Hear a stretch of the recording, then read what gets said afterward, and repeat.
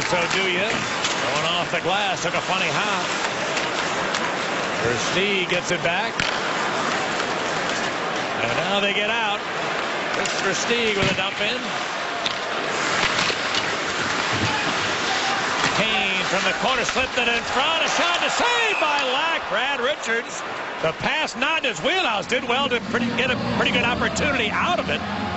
But Lack able to beat him. Yeah, and the puck looked like it was a little bit on edge there, Pat, after Brad Richards able to able to receive this pass from Patrick Kane.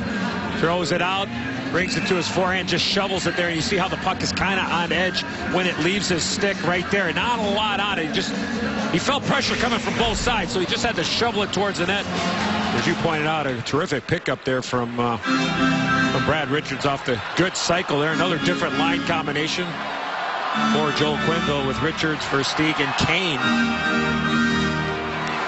Here's Kane winning a draw. Oduya to the shot, just missed. Rozsival moves up the boards, but Lay took it away, or Bay did.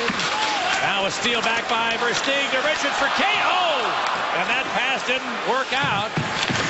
He was open right at the side of the net.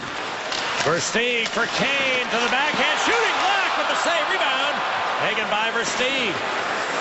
Best shift the Hawks have had in a while in, uh, offensively. There's a Richards. Put it over the stick of Kane. Vrbata the other way.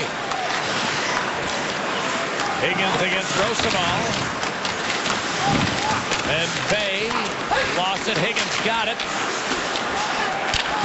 And the Hawks get it back. Rozsival hold it to center ice.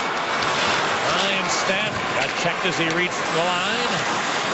And now five minutes remaining in the second period. That's an offside play with Bickell. Oh, the Blackhawks late stage